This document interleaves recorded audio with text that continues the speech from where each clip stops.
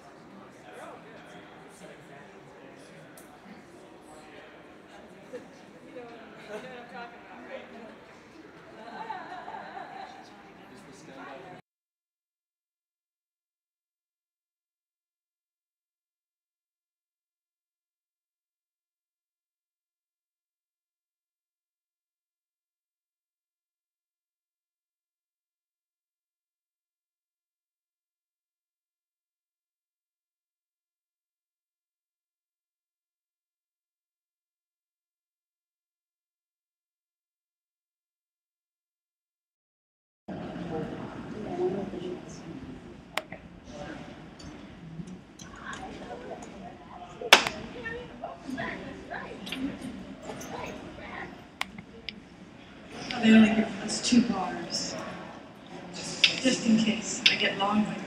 Oh, look, they ran, those people left. They're like, no, we can't do that. Hi, so everybody's behind me. This is gonna, this is gonna prove interesting, JP, when I talk to them. I see a lot of the back of my head. Um, hi, this is Watch Me Work.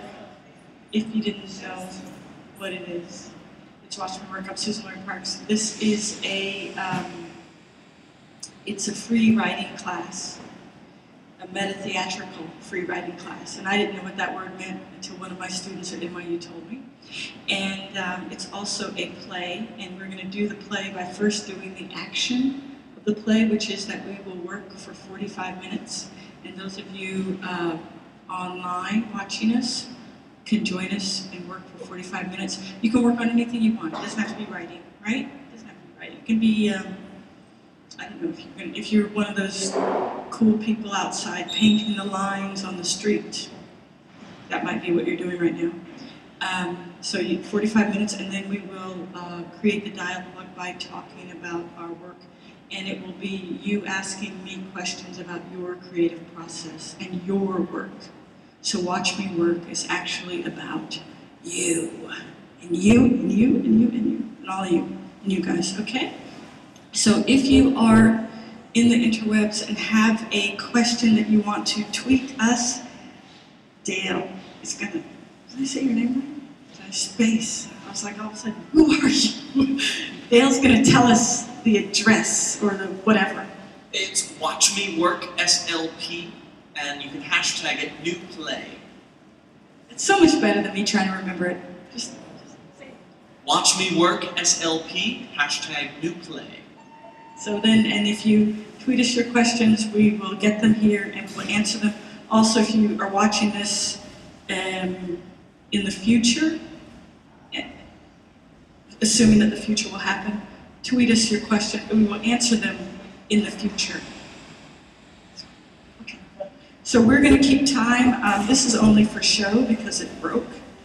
But we're going to keep time on our phones. We're going to work for 45 minutes and then we're going to talk. Oh, now I see who's doing it. Ah, the Apple woman. Hey. Oh, Lord. Oh, a plug, a family plug. My son turns two on Monday. He's going to have a really big cake. Thank you. Thank you. Oh, boy. Oh, boy. I'm all excited. Thank you. Okay.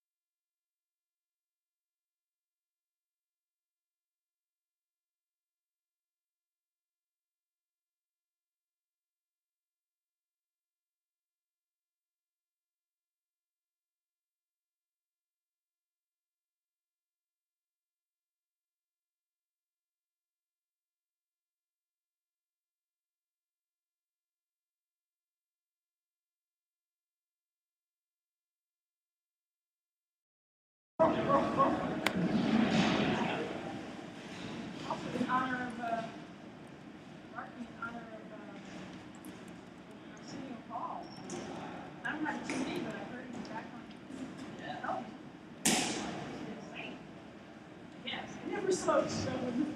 I'm excited.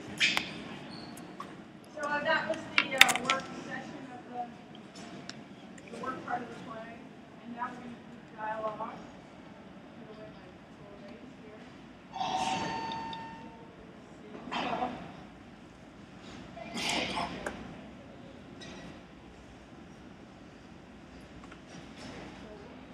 just so I don't have to yell.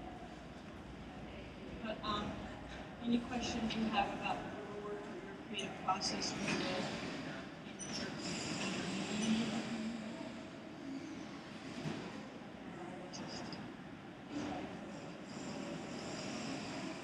Any lulls in the activity, in the dialogue, I'll use to plug.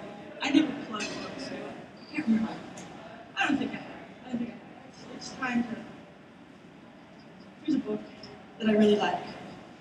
It's called The War of Art. You all have heard probably of the art of war, the famous, famous, famous, famous ancient classic, The Art of War.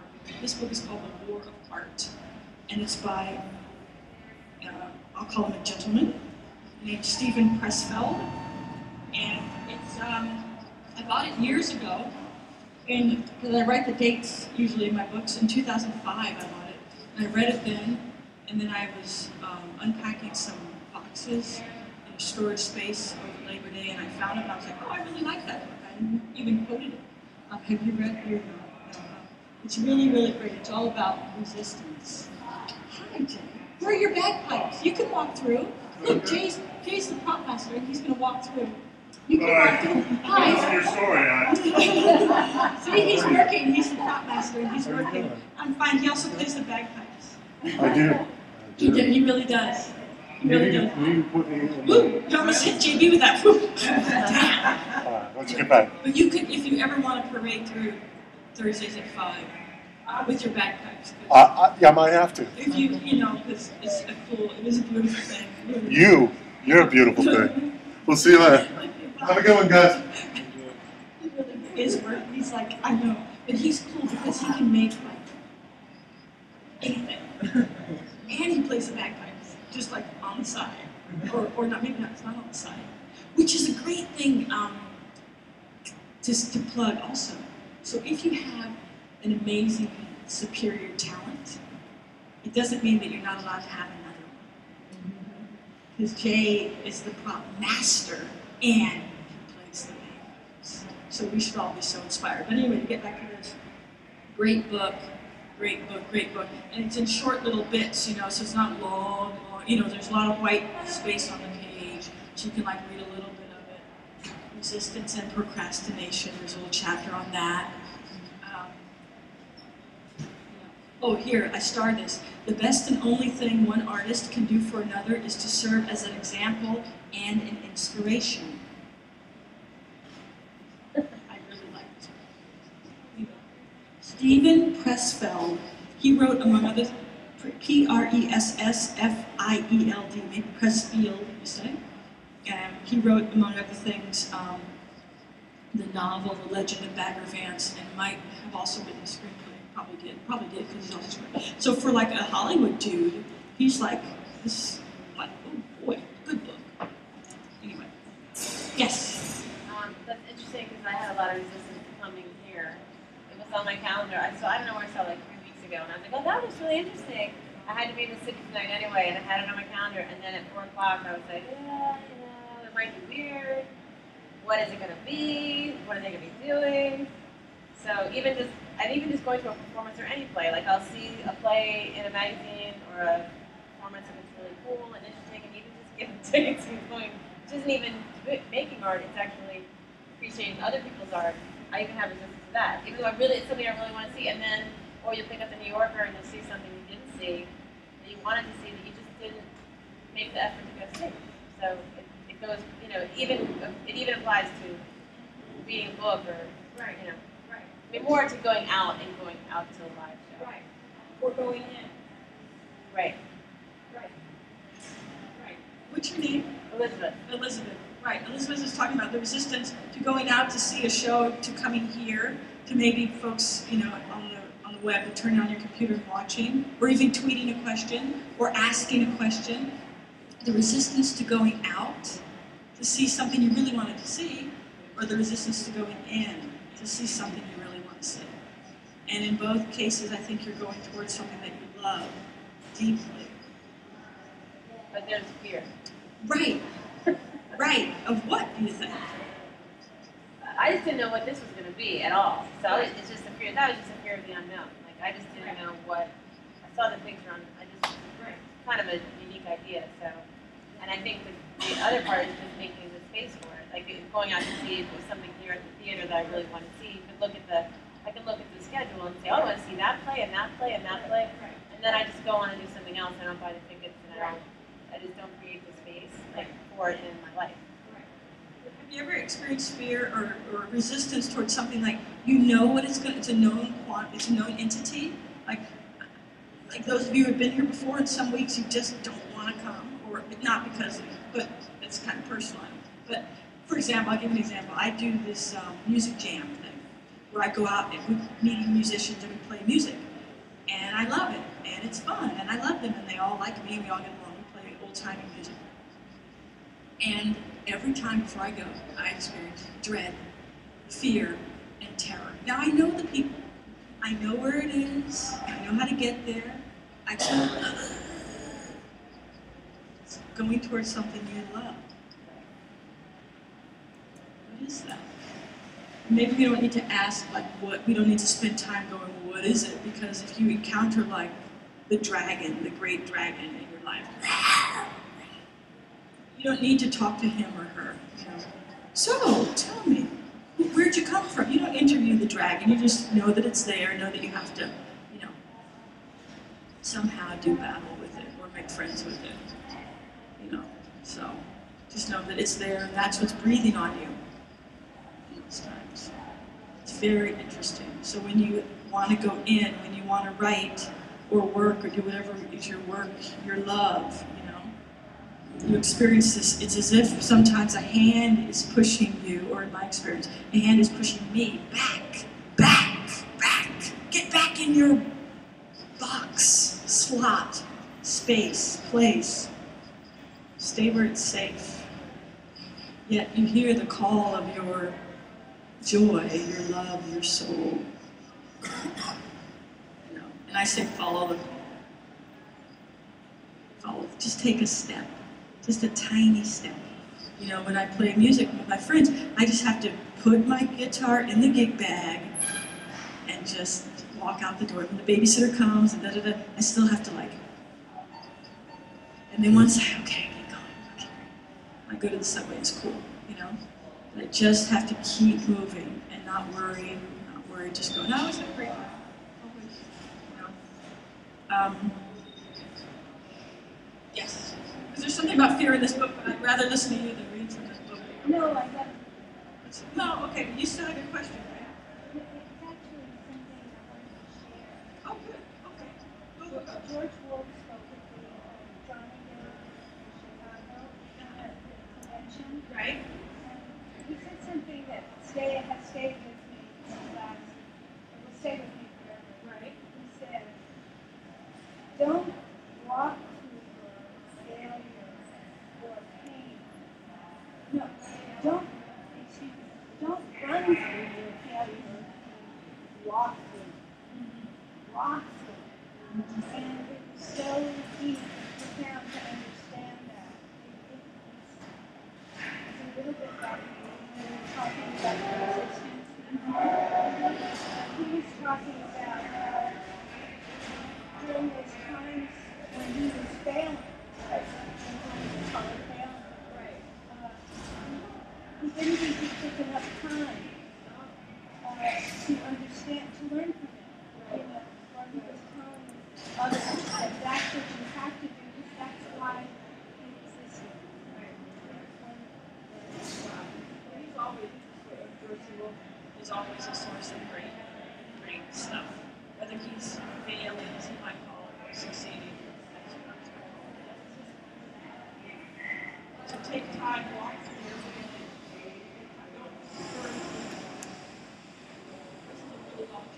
Does anybody else have a? It's a lot, this is a lot. I'm gonna skip, I'm gonna skip. It's like a million words here. Okay. Resistance feeds on fear. We experience resistance as fear. But fear of what? Resistance, that pushing thing you feel, or I, I felt, feeds on fear, and we experience resistance as fear. But fear of what? And then it gives you a million things. Fear of consequences of following your heart, fear of bankruptcy, fear of poverty, fear of insolvency, fear of groveling when you try to make it on your own, fear of having to crawl back to where you came from, having failed, fear of being selfish, fear of being a rotten wife or a disloyal husband, fear of failing to support our families, fear of betraying our race, our hood, our homies, fear of failure, fear of being ridiculous, fear of throwing away our education, and on and on and on. Fear of insanity, fear of death. Those are serious, but what's the worst fear or the biggest fear, he says, is the fear that we will succeed. And we all say, well, I'm not afraid of success. I'm not afraid of success. But then he goes on to say that success is the most terrifying prospect because it will eject you from the tribal inclusion that your psyche has wired you for for the last 50 million years. You will become estranged from all you know. Then he goes on to say that you will, of course, be in the company of other like estranged people, but he is absolutely right. Success will thrust you out of the tribe, and you will no longer have, you won't be um, in the same boat as everybody else. And that is terrifying because we are hardwired to stay in the boat. Because we're trying, you know, stay with the tribe, you know? And he's absolutely right. And so he says at the bottom of all your fears is the fear that you will be alone. And he's right. And that's what happens when you accomplish something that, you know, maybe your friends just talk about. You finish that play. You write that novel. You mm-hmm. get published. You get a show. You get a part in a play. You know, you get into graduate school, or you graduate from graduate school, or you mm-hmm. get that job that your other friends are just going, you know?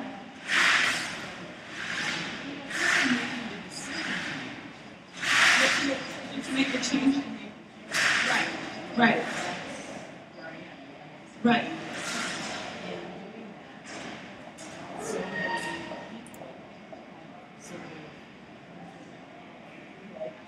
Isn't that weird? What remind me of her name? Stephanie. Stephanie. Yeah, when you make Stephanie says when she makes the decision to make the change, so many people have kind of gone away. They don't get it. We're like crabs in a bucket. You've heard about that? Crabs in a bucket. You know, you see crabs in a bucket, one crab tries to crawl out of the bucket, and the other crabs pull them down. Ooh. Happens a lot. They want you back in the bucket. And maybe look thinking of it as a tribal thing, it's not a, a bad thing. It's just the way we are wired. Stay with the group, man. Don't go out there. Did you have a question? Oh, you're just. Oh, you're just. Yeah.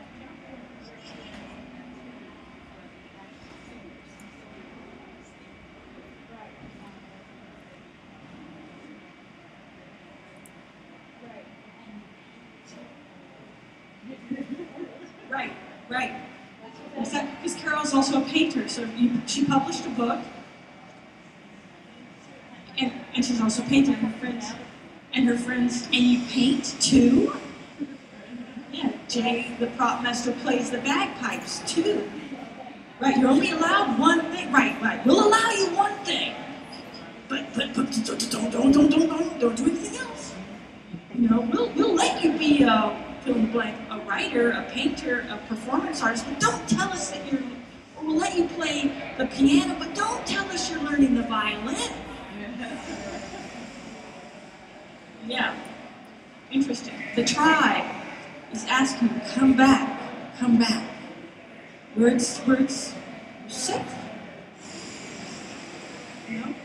We know you.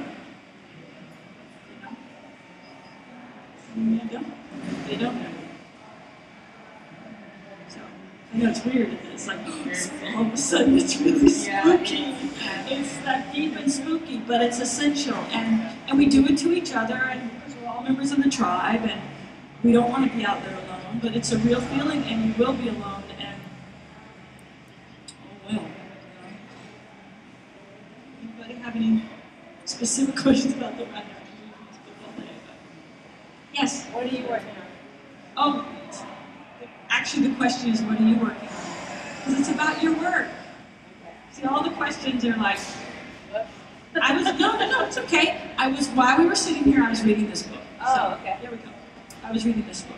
So that's what I was doing, and I wanted to finish the book. And I thought, darn, will I just sit there and read? You know, I'm supposed to be working, but That is work.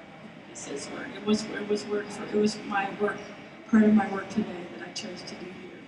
Um, yes. Um, I saw Marina and the Yes. Memorial Lake City. Yes, yes, yes, stuff very similar to that. yes. Um, and I was wondering how you kind of is that what you're, you trying to create a performance do that with music now? Right. Yeah, right? Right. I, but ever since then, I constantly kind of question how far this art Right. extend Right. life. And when I walk around and I see, you know, the bad people the street and doing art, you know, if I walk through these things, so I know it's not gonna be art. And now I'm kind of looking at you, writing, trying to get inspired and feel inspiration. And I, I really respect it. I love it. Thank you. And I just wanted, I wanted to see how you Yeah, what are we do, what are we how doing? you, you feel like Well, did I see her show? I did. The art, Maria Abramović, am I pronouncing her name correctly? The artist is present. There were a couple things. Um, her show, um, more recently, Tilda Swinton is Sleeping. And then there were a couple of other things which I've been do- doing and fascinated by for years. Um, one is Ashtanga Yoga, the Ashtanga Yoga practice, which is silent and communal at the same time, and, and, and regular. And the other thing is the inner game of tennis, and that probably is the seed of this show, which is basically, I know. Do you know the inner Yeah, game of tennis? Oh, yeah, you do? do. Well, the whole idea that we learn by watching, right? We learn by watching. And I thought to myself, well, how do writers learn what being a writer looks like? Oh, I know. I'll sit there and just write and the people can watch and go, oh, that's what it looks like. I'm just going to do that too. I'm just going to type, or I'm just going to read, or I'm just going to do this. And that's actually kind of all it is. It's, it's funny because I, I you I was nervous to come here, and I actually, I, didn't, I was thinking to myself, it's just like a yoga class. I was like, it's like yoga, you're just gonna go there, you're just gonna do that with other people. And I never am afraid to go to a yoga class. What's different, it's really not that different, it's a practice. I mean, I, I didn't think Ashtanga specifically, but, Yeah. but yoga, because, because a concrete line. No, you have a, a Ganesh on your t-shirt. yeah, Yeah, but yeah, but then. you have a Ganesh, the remover of obstacles. I have one around. My, big. Um, Yeah. That's good. So I, I mean, I just thought it separately. Just to, again, I felt like I had to justify to myself. Like I wouldn't, if I went to yoga class, I don't have to justify it. But coming here for some reason, I had to be like, I had to explain it to myself just to get it. Well, just be yoga. Whereas I was just going, I think because it's close to where I used to do yoga and like like do it. I don't know why you need you need at least I need an excuse or some kind of rationalization to come do this. Whereas going to yoga is exercising. There's no I don't need an excuse. I don't know. I understand. But just continually, like, be mindful. She's- She's walking. That's part of the performance. It it is, actually, which is cool. Just let it all in, you know, it all works out. But, but yeah, you just continue to be mindful about that, where we have to stop ourselves, where we stop ourselves, where the resistance comes. Because a lot of people feel resistance going to yoga class. A lot of folks, you know, buy that gym membership and they never go, you know, that kind of thing, you know, so.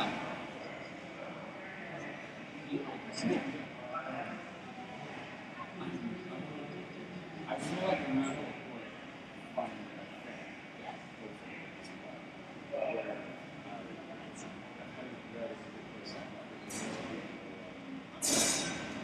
I, I feel like that was change or skill.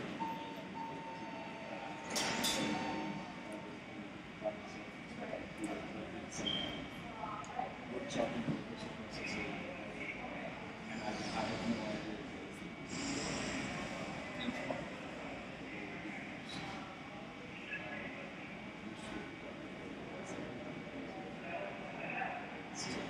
find out people myself, introduce myself, or see organizations that already exist, or start with kids stories and figure out.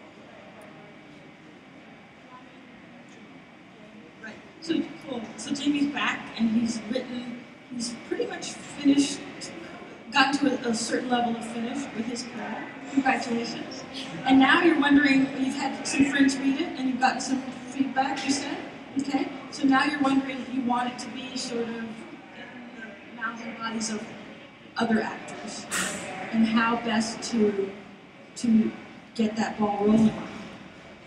Um, should you send it out to people? To do that kind of thing? Should you do it yourself? Should you do Kickstarter? I I think um, choose two of those things maybe. Submit it to places. I know the public does new work now, and also the emerging the also the emerging writers group they do. So which which does uh, have workshop components in it. Both of them are amazing and great programs. I think probably every theater in town you know, of, of you know this size or around this size has a program like that. So you could kind of maybe go online. I'm looking online and, and find out that kind of information. But I know what happens at the public. But maybe you know, Signature might have something. Playwrights Horizons and Ensemble and you know you name it. You New York Theater Workshop has their gang of folk. You know, the Flea has people doing stuff. Soho Rep probably has a group of fabulous people. So you name it, they're out there. And, and, and, and, I would say gather together your posse and have a reading.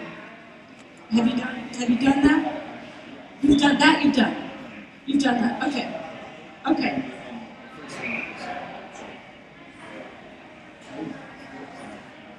right, right.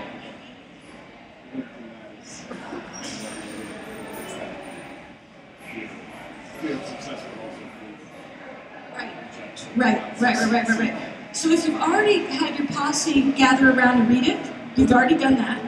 Okay, so I would say start sending it out to places. So then you do two things at once in another direction. You send it out to places, the public theater, Soho Rep, the Flea, whatever, you know, and, and hopefully you know these places and what kinds of work they do. And if your play feels like it might find a home at one of those places or several of those places, submit it to several places, right?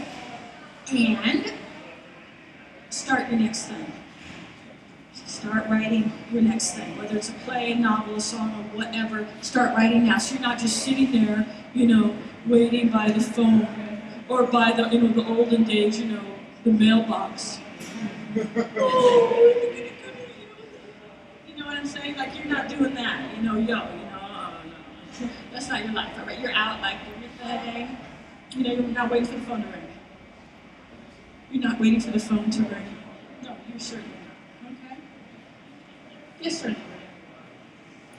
Hi. So I, uh, I just finished this. Going up.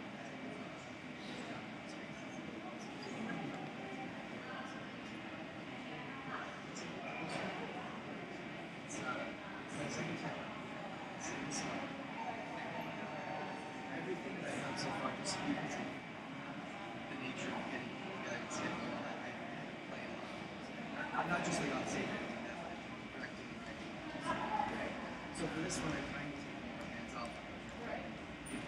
Not for the sake of doing less,